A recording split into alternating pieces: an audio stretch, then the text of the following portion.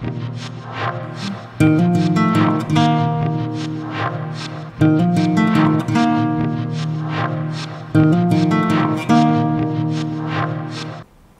Merhaba sevgili koçlar. Bugün 27 Haziran Perşembe, Jüpiter günündeyiz. Sosyal ortamlara girme ve kalabalığın arasına karışma isteğiniz bugün artabilir. Çeşitli sosyal organizasyonlarda yer alabilirsiniz. E, sosyal yönünüz çok güçlü olduğu için sizi her türlü işinizde bugün destekleyecektir.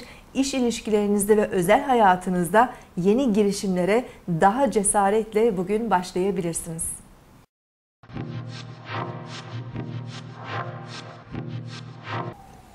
Burcunuzu dinlediniz.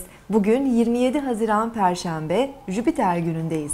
Güne Kova burcunda boşlukta başlayan ay 11.33'ten e, itibaren Balık burcunda hareket etmeye başlayacak. E, duygusal, hassas, sezgisel enerjiler verecek güne. Empati yeteneğimiz ve yardımlaşma isteğimiz gün boyu artabilir. Daha içe dönük olup bilinçaltımıza ve sezgilerimize yönelebiliriz bugün. Akşam saatlerinde ay Neptünle kavuşup e, Güneş ve Satürn'le de üçgen açı yaptığında bu etkiler daha da artacaktır. İlham ve yaratıcılık gerektiren sanatsal çalışmalar, manevi ve ruhsal faaliyetler, yardımlaşma çalışmaları, sevdiklerimiz ve yakınlarımızla ilgili duygusal paylaşımlar için çok olumlu enerjiler olacak gökyüzünde. Bugün akşam 20'den itibaren Venüs Yengeç burcundan ayrılarak Aslan burcuna geçecek.